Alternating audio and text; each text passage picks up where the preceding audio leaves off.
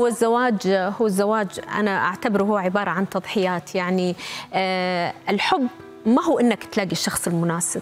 لا الحب هو إنك تكون أنت الشخص المناسب لمن أحببت. تتنازل عن الأشياء اللي يكرهها وتتغير إلى الأشياء اللي يحبها. يعني الموضوع مشاهدينا ما هو موضوع قبلني كما أنا لا.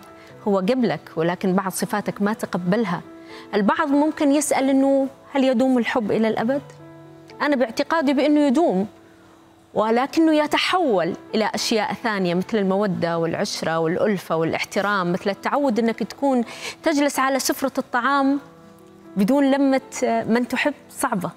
الحب الحقيقي ما هو عبارة عن مجرد شعور هو التزام وقرار إنك تهتم وتدعم وتوقف بجانب شريكك بالحلوة والمرة. هو التفاهم الغفران التوقف عن الزلة وتعاير طوال الوقت.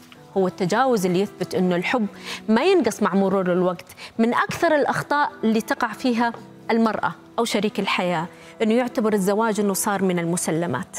يفقد شغف محاولة الإبهار مثل البدايات يعني مثل اللي يحط الحطب مرة واحدة في نار الموقده من المفترض إنك أنت تغذي هذه الموقده شوي شوي علشان تستمر لهيب الحب ولذة العشرة.